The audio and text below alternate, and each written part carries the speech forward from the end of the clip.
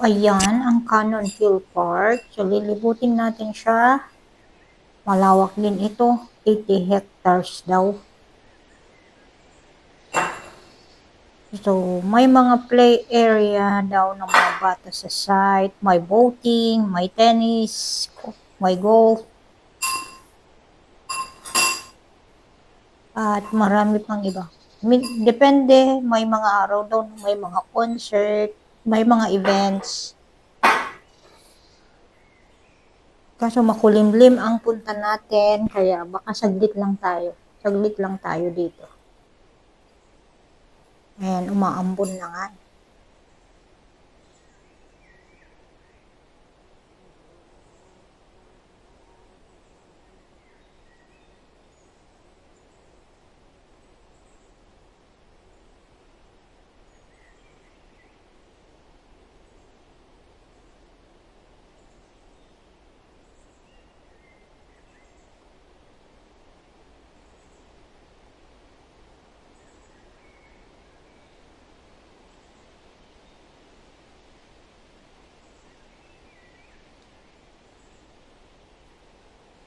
Ayun ang boating area nila.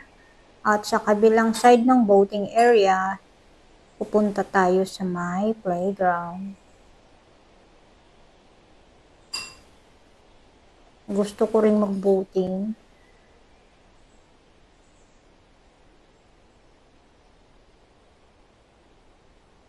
Kaso baka hindi natin masulit yung time pag umulan na. Next time na lang.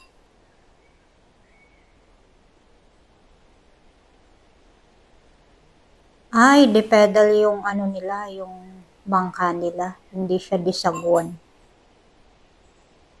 Naalala ko tuloy yung ano, boating sa may Burnham, sa Baguio. I miss you, Baguio. Kailan kaya tayo makakauwi niyan?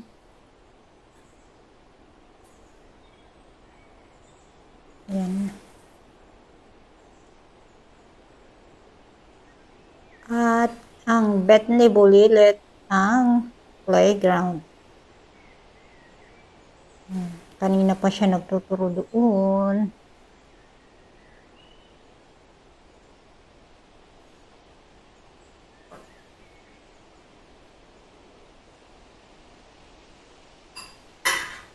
Ayan, takbo agad.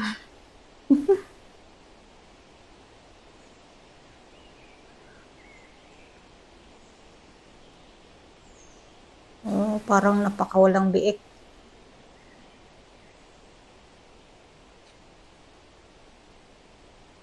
Wala nang mama, wala nang tata. Nasa playground na siya.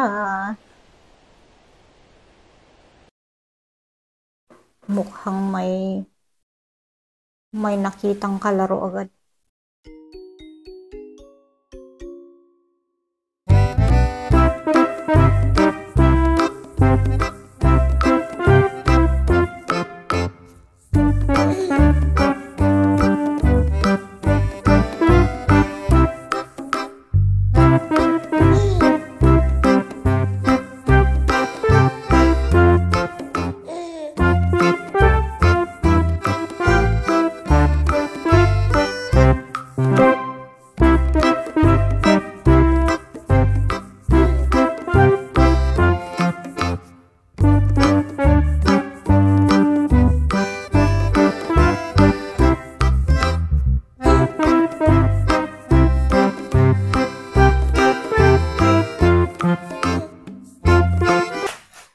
Finally, pumayag na siyang sumama.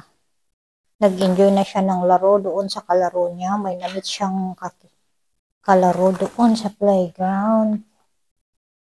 May friend na daw siya doon. Kung di pa umulan, hindi pa sasama ito. So, ito, papunta na tayo ng parking.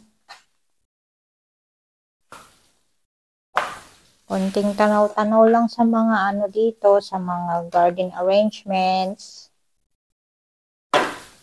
Ayan, nakikita ko yung silver dust. So, ang ganda ng ano niya, oh, pagka-silver ng dahon.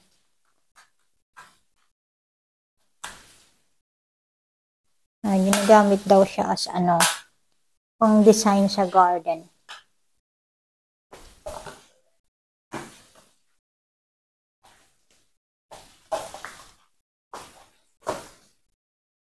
Wood matching, colorful halaman, ayan. Karamihan ngayon na nakikita ko begonia, iba-ibang variety. At saka kanina, nadaanan din natin yung Garden Cosmos.